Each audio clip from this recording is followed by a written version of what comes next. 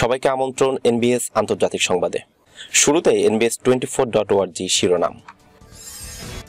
Russia বাদামের মতো শত্রুর অস্ত্র ভেঙে প্রযুক্তি নিচ্ছে বললেন রুশ প্রেসিডেন্ট ভ্লাদিমির পুতিন। দোনবাসে এই প্রথম ইলেকট্রনিক জ্যামিং সিস্টেম মোতায়েন রাশিয়ার। চীনের যুদ্ধবিমানের তৎপরতা অত্যন্ত বিপজ্জনক, বলছে অস্ট্রেলিয়া। সৌদি ইসরায়েল সম্পর্ক বাড়াতে মধ্যপ্রাচ্যে যাবেন মার্কিন প্রেসিডেন্ট জো বাইডেন। জামিন শেষ হওয়া মাত্রই গ্রেফতার করা হবে ইমরান খানকে। দু হাজার পঞ্চাশ সাল নাগাদ বছরে বাস্তুচ্যুত হতে পারে ২০ কোটি মানুষ, বললেন জাতিসংঘ মহাসচিব। এবং ভারতে লাফিয়ে বাড়ছে করোনা সংক্রমণ। দর্শক ইউক্রেনের দোনবাস এলাকার নিরাপত্তা নিশ্চিত করতে রাশিয়া সেখানে প্রথমবারের মতো ইলেকট্রনিক জ্যামিং সিস্টেম স্থাপন করেছে। পাশাপাশি সেখানে রুশ যুদ্ধ বিমানের টহলও বেড়েছে। এই বিষয়টি আপনি কীভাবে দেখছেন? ভিডিওটিতে একটি লাইক দিয়ে কমেন্ট করে জানিয়ে দিন আপনার মূল্যবান মন্তব্য। দর্শক এতক্ষণ শুনছিলেন শিরোনাম এবার বিস্তারিত। বিস্তারিত খবর পড়ছি আমি মিনথাল আহমেদ মাসুম। রাশিয়া বাদামের মতো শত্রুর অস্ত্র ভেঙে প্রযুক্তি নিচ্ছে বললেন পুতিন। শনিবার প্রচারিত একটি সাক্ষাৎকারের একটি সংক্ষিপ্ত অংশে রাশিয়ার প্রেসিডেন্ট ভ্লাদিমির পুতিন বলেছেন, রাশিয়ান বিমান বিধ্বংসী বাহিনী ইউক্রেনকে দেয়া পশ্চিমাদের কয়েক ডজন অস্ত্র গুলি করেছে এবং এগুলোকে বাদামের মতো ভেঙে ফেলছে। আরআই নিউজ এজেন্সি, যেটি প্রথমে মন্তব্যগুলোকে উদ্ধৃত করেছিল, পুতিনকে উদ্ধৃত করে মার্কিন সরবরাহকৃত অস্ত্র সম্পর্কে এক প্রশ্নের জবাবে বলেছে, রাশিয়া সহজে মোকাবেলা করছে এবং ইতিমধ্যেই ডজন ডজন অস্ত্র ধ্বংস করেছে। তবে রোববার প্রচারিত একটি সাক্ষাৎকারের ক্লিপটি স্পষ্ট করে দিয়েছে যে, পুতিন আসলে একটি ভিন্ন প্রশ্নের উত্তর দিয়ে দিয়েছিলেন যা দেখানো হয়নি। পুতিন বলেন, আমাদের বিমান বিধ্বংসী ব্যবস্থা এগুলোকে বাদামের মতো কুচকে দিচ্ছে। ডজন ডজন ধ্বংস হয়ে গেছে। অস্ত্রের সঠিক ধরন স্পষ্ট করলেও রাশিয়া বলেছে যে, তারা ইউক্রেনের বিমান এবং ক্ষেপণাস্ত্র উভয়ই ধ্বংস করেছে। প্রসঙ্গত, যুক্তরাষ্ট্র অস্ত্র বিক্রি করলেও প্রযুক্তি কখনো শেয়ার করে না। শত্রুর হাতে প্রযুক্তি যাতে না পড়ে, সেজন্য ইরাক, আফগানিস্তানেও তারা নিজেদের অনেক অস্ত্র নিজেরাই ধ্বংস করেছে। কিন্তু ইউক্রেনকে তারা যে অস্ত্র দিয়েছে, তা রাশিয়ার হাতে পড়ার সম্ভাবনা রয়েছে। ফলে সহজেই তারা সেই প্রযুক্তি গ্রহণ করতে পারবে। দোনবাসে এই প্রথম ইলেকট্রনিক জ্যামিং সিস্টেম মোতায়েন রাশিয়ার। ইউক্রেনের দুনবাস এলাকার নিরাপত্তা নিশ্চিত করতে রাশিয়া সেখানে প্রথমবারের মতো ইলেকট্রনিক জ্যামিং সিস্টেম স্থাপন করেছে। পাশাপাশি সেখানে রুশ যুদ্ধ বিমানের টহলও বেড়েছে। লুহানাস প্রদেশে কিয়েভ নিযুক্ত গভর্নর সেরহি গাইদাই বলেছেন যে, সেভ্রোদনেস্কের মূল শহরের জন্য লড়াইয়ের স্থল ইউনিটগুলো বিশাল ক্ষতির সম্মুখীন হওয়ায় অগ্রগতির জন্য রাশিয়াকে বিমান হামলার উপর নির্ভর করতে হয়েছিল। সেভ্রোদনেস্কের পতন হলে লাইসিচানাস হবে শেষ শহর, যেটি লুহানস প্রদেশের সম্পূর্ণ নিয়ন্ত্রণের জন্য রাশিয়াকে দখল করতে হবে, যেটি দোনেস্ক প্রদেশের সাথে দোনবাস নিয়ে গঠিত। একটি উল্লেখযোগ্য পরিবর্তনের পূর্ব ইউক্রেনে ইলেকট্রনিক যুদ্ধ অনেক বেশি একটি ফ্যাক্টর হয়ে উঠেছে। যেখানে সংক্ষিপ্ত সরবরাহ লাইন রাশিয়াকে আরও সহজে সরঞ্জামাদি সরানোর সুযোগ দিচ্ছে। বৈদ্যুতিক যুদ্ধের তিনটি মৌলিক উপাদান রয়েছে, অনুসন্ধান, আক্রমণ এবং সুরক্ষা। প্রথমত, শক্ত ইলেকট্রনিক সংকেত শনাক্ত করে বুদ্ধিমত্তা সংগ্রহ করা হয়। আক্রমণে জ্যামিং রেডিও এবং টেলিফোন যোগাযোগ, বিমান প্রতিরক্ষা এবং আর্টিলারির রাডার সহ শত্রু সিস্টেমগুলোকে অক্ষম এবং অবনমিত করে। তারপর হচ্ছে স্পুফিং, যা বিভ্রান্ত করে এবং প্রতারণা করে। যখন এটি কাজ করে, যুদ্ধাস্ত্রগুলো তাদের লক্ষ্য মিস করে। ইউক্রেনের একজন গোয়েন্দা কর্মকর্তা রাশিয়ান হুমকিকে বেশ গুরুতর বলে অভিহিত করেছেন, যখন এটি সেনাদের সাথে পুনরুদ্ধারের প্রচেষ্টা এবং কমান্ডারদের যোগাযোগ ব্যাহত করার কথা আসে। ইউক্রেন শত্রুদের শনাক্ত করার জন্য যে ড্রোন ব্যবহার করে এবং আক্রমণের জন্য যেসব আর্টিলারি ব্যবহার করে, রাশিয়া সেগুলোকে জ্যামিং সিস্টেমের মাধ্যমে অকেজ করে দিচ্ছে। তারা তাদের সিস্টেমে পৌঁছাতে পারে এমন সবকিছু জ্যাম করছে। ইউক্রেনীয় মানববিহীন আকাশযান পুনরুদ্ধার দলের একজন কর্মকর্তা বলেছেন, যিনি নিরাপত্তার উদ্বেগের কারণে নাম প্রকাশ না করার শর্তে কথা বলেছেন। আমরা বলতে পারি না যে তারা আধিপত্য বিস্তার করে, কিন্তু তারা আমাদের ব্যাপকভাবে বাধা দেয়। রাশিয়ার মোতায়েন করা সিস্টেমের মধ্যে রয়েছে ক্রাসুখা ফোর যেটিকে ইউএস আর্মি ডাটাবেস বলেছে যে একশো মাইলেরও বেশি দূর থেকে স্যাটেলাইট সিগন্যালের পাশাপাশি নজরদারি রাডার এবং রাডার নির্দেশিত অস্ত্রগুলো জ্যাম করার জন্য ডিজাইন করা হয়েছে। অন্যটি ছিল আরও উন্নত বোরিসোগো লেভস্ক টু। যা ড্রোন গাইডেন্স সিস্টেম এবং রেডিও নিয়ন্ত্রিত ল্যান্ড মাইন জ্যাম করতে পারে। ফ্রেমলিন আরও দাবি করেছে যে তারা এক হাজারেরও বেশি ছোট, বহুমুখী ওয়ারলেন টেন মনুষ্যবিহীন ড্রোন মোতায়েন করেছে, যেটি হামলা চালাতে পারে এবং লক্ষ্যবস্তু, জ্যামিং এবং টেলিফোন নেটওয়ার্ক বন্ধ করে দিতে পারে। শনিবার একটি গোয়েন্দা আপডেটে যুক্তরাজ্যের প্রতিরক্ষা মন্ত্রণালয় বলেছে, অপারেশনাল ফোকাস দনবাসে সুইচ করার সাথে সাথে রাশিয়া তার ক্রমবর্ধমান অগ্রগতিকে সমর্থন করার জন্য কৌশলগত বিমান এবং ড্রোনের কর্মসংস্থান বাড়াতে সক্ষম হয়েছে। তারা বিমান এবং আর্টিলারি হামলাকে একত্রিত প্রতিহত করতে সক্ষম হয়েছে, যা তাদেরকে অপ্রতিরোধ করে তুলেছে। মন্ত্রণালয় আরও বলেছে, এ অঞ্চলে রাশিয়ার সাম্প্রতিক কৌশলগত সাফল্যের ক্ষেত্রে বিমান এবং কামান হামলার সম্মিলিত ব্যবহার একটি মূল কারণ। চীনের যুদ্ধ বিমানের তৎপরতা অত্যন্ত বিপজ্জনক, বলছে অস্ট্রেলিয়া। বিরোধপূর্ণ দক্ষিণ চীন সাগরের আন্তর্জাতিক আকাশ সীমায় সামুদ্রিক নজরদারির সময় অস্ট্রেলিয়ার একটি বিমানকে অত্যন্ত বিপজ্জনকভাবে বাধা দিয়েছে চীন।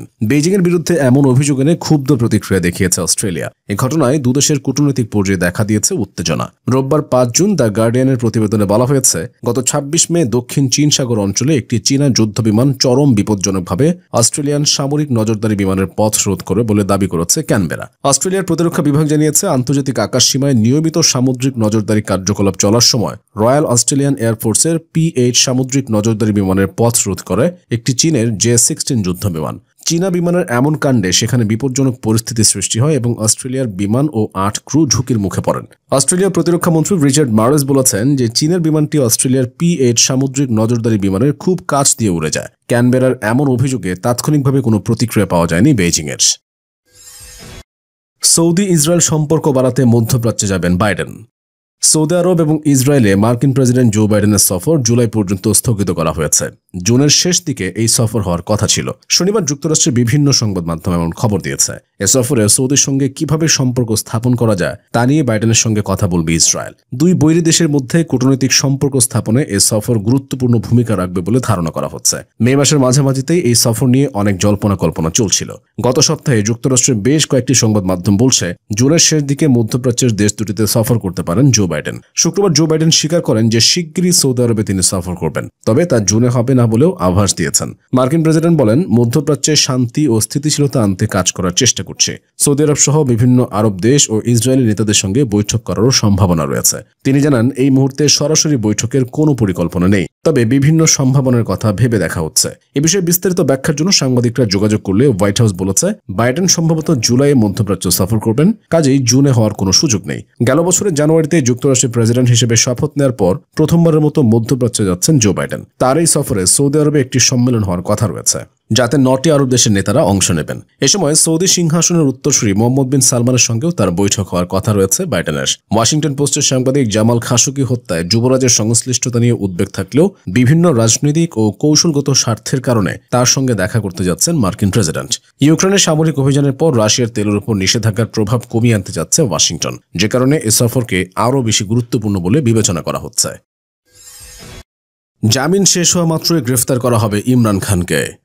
পাকিস্তানের সাবেক প্রধানমন্ত্রী ইমরান খানকে তার জামিনের মেয়াদ শেষ হওয়া মাত্র গ্রেফতার করা হবে বলে জানিয়েছেন দেশটির স্বরাষ্ট্রমন্ত্রী রানা সানাউল্লাহ। উল্লেখ্য, হাইকোর্টের আদেশ বলে বেশ কয়েকটি মামলায় ইমরান পঁচিশ জুন পর্যন্ত জামিনে রয়েছেন। গত পঁচিশে মে, হাক্কানি আজাদি মার্চকে কেন্দ্র করে বিশৃঙ্খলার সময় এসব মামলা দায়ের করা হয়েছিল।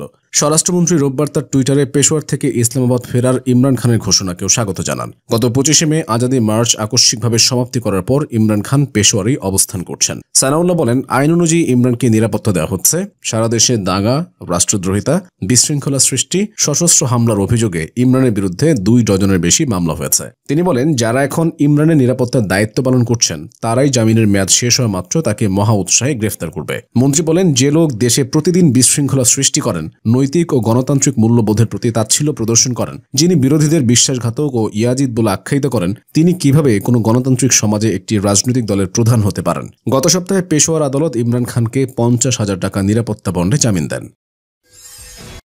দু হাজার পঞ্চাশ সাল নাগাদ বছরে বাস্তুচ্যুত হতে পারে বিশ কোটি মানুষ, বললেন জাতিসংঘ মহাসচিব।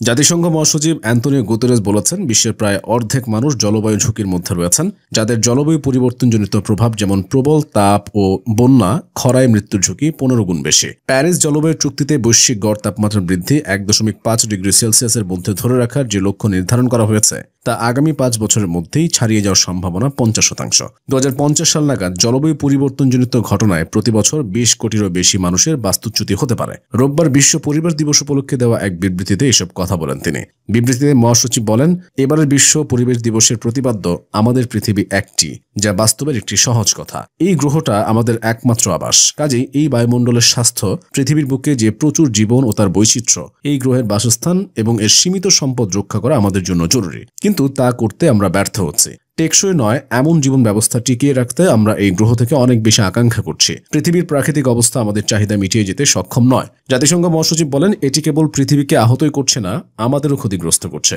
স্বাস্থ্যকর পরিবেশ, মানুষ এবং সতেরোটি টেকসই উন্নয়ন অভিষ্টের সবগুলোর জন্যই জরুরি। প্রকৃতি আমাদের খাবার, নিরাপদ পানি, ওষুধ নিশ্চিত করে, জলবায়ু নিয়ন্ত্রণ করে এবং চরম আবহাওয়া থেকে আমাদের সুরক্ষা দেয়। কাজেই সুবিবেচনার মাধ্যমে প্রকৃতি ব্যবস্থাপনা এবং প্রকৃতির সেবাগুলোর সবার, বিশেষত ঝুঁকিতে থাকা জনগোষ্ঠী ও সমাজের, সমহারে প্রাপ্তি নিশ্চিত করা আমাদের জন্য জরুরি। তিনি বলেন, তিনশো কোটিরও বেশি মানুষ ক্ষয়িষ্ণু বাস্তুতন্ত্রের কারণে ক্ষতির শিকার হচ্ছেন। দূষণের কারণে প্রতি বছর প্রায় নব্বই লাখ মানুষের অকাল মৃত্যু ঘটছে। দশ লাখের বেশি উদ্ভিদ ও প্রাণী প্রজাতি বিলুপ্তির ঝুঁকিতে রয়েছে, যার অনেকগুলো খুব বেশি হলে আর মাত্র কয়েক দশক টিকতে পারে। পঞ্চাশ বছর আগে বিশ্বের নেতারা জাতিসংঘ মানব পরিবেশ সম্মেলনে একত্রিত হয়ে এই গ্রহটাকে রক্ষা করার প্রতিশ্রুতি দিয়েছিলেন, কিন্তু আমরা আজ পর্যন্ত সফল হতে পারিনি। প্রতিদিনই যে সতর্ক ঘণ্টা বেজে চলেছে, তার আমরা উপেক্ষা করতে পারি না। সাম্প্রতিক স্টকহোম যোগ পঞ্চাশ পরিবেশ বৈঠকে সবাই একমত হয়েছেন যে, সতেরোটি টেকসই উন্নয়ন অভিষ্টের সবগুলোই একটি স্বাস্থ্যকর গ্রহের উপর নির্ভরশীল। জলবায়ু পরিবর্তন, দূষণ আর জীববৈচিত্র্যের হারানোর ত্রিমাত্রিক সংকটের কারণে যে দুর্যোগ ঘনিয়ে আসছে, সেই দুর্যোগ এড়াতে আমাদের সবাইকে দায়িত্ব নিতে হবে।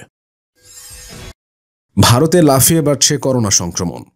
ভারতে ফের লাফিয়ে বাড়ছে করোনা মহামারী। কয়েকদিন ধরে কোভিড নাইন্টিন বেড়ে চলছিল, তবে রোববার স্বাস্থ্য মন্ত্রণালয়ের পরিসংখ্যান উদ্বেগ বাড়ল আরও কয়েক গুণ। স্বাস্থ্য মন্ত্রণালয়ের সাম্প্রতিক রিপোর্ট বলছে যে, গত চব্বিশ ঘন্টায় করোনা ভাইরাসে আক্রান্ত হয়েছেন চার হাজার দুশো সত্তর জন। শনিবার এই সংখ্যা ছিল তিন হাজার নশো বাষট্টি জন। একদিনে কোভিড আক্রান্ত দেশের পনেরো জন, যা শনিবারের তুলনায় সামান্য কম। একাধিকবার কোভিড পজিটিভ হওয়ার নমুনাও সামনে এসেছে। সংক্রমণ বাড়তে থাকায় পাঁচটি রাজ্যকে সতর্ক করেছে কেন্দ্র। এক লাফে একদিনে সাত শতাংশ সংক্রমণ বেড়েছে কোভিড গ্রাফে। স্বাস্থ্য মন্ত্রণালয়ের পরিসংখ্যান বলছে শনিবারের তুলনায় দৈনিক করোনা সংক্রমণ বেড়েছে সাত শতাংশ, যা খুবই উদ্বেগজনক। সুস্থতার হার নিম্নমুখী, বাড়ছে অ্যাক্টিভ কেস পজিটিভিটি রেটও এক মাস পর পজিটিভিটি রেট দাঁড়াল এক দশমিক শূন্য তিন শতাংশ। এই মুহূর্তে অ্যাক্টিভ করোনা রোগীর সংখ্যা বেড়ে দাঁড়িয়েছে চব্বিশ হাজার বান্ন জনে। গত চব্বিশ ঘন্টায় মহামারী থেকে সুস্থ হয়েছেন দু জন। সুস্থতার হার এ নিয়ে আটানব্বই দশমিক সাত তিন শতাংশ। এদিকে সংক্রমণ লাগামহীনভাবে বেড়ে যাওয়ায় করোনা পরিস্থিতি নিয়ে পাঁচ রাজ্যকে সতর্ক করেছে কেন্দ্র। তামিলনাড়ু, কেরালা, তেলেঙ্গানা, কর্ণাটক এবং মহারাষ্ট্র সরকারকে চিঠি লেখা হয়েছে কেন্দ্রের তরফ থেকে। দেশে মহামারীর নতুন ঢেউ আছড়ে পড়ার আগে টিকা প্রদানে জোর দিতে বুস্টার ডোজ হিসেবে কর্বেভ্যাক্সকে ছাড়পত্র দিয়েছে ডিসিজি। শনিবার এক বিবৃতিতে এ কথা জানিয়েছে টিকা নির্মাতা সংস্থা বায়োলজিক্যাল ই লিমিটেড। দর্শক, এই ছিল এখনকার মতো। আমাদের পরবর্তী সংবাদ দেখার আমন্ত্রণ জানিয়ে বিদায় নিচ্ছি আমি শফিউল আলম আরাফ।